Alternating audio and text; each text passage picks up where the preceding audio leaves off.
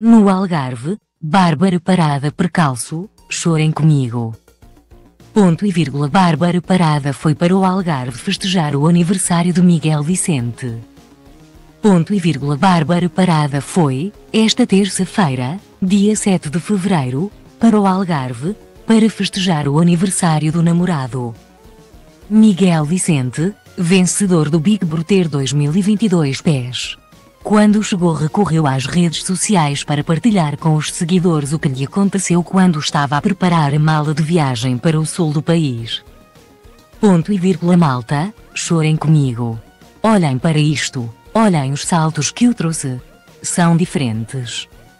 Eu pensava que era ao par, começou por dizer a ex-concorrente, ao mostrar os dois sapatos diferentes. Ponto e vírgula sério, não acredito nisto. Digam alguém mais aluado que eu. E eu nem sou muito. Mas por que é que eu fiz isto? Questionou.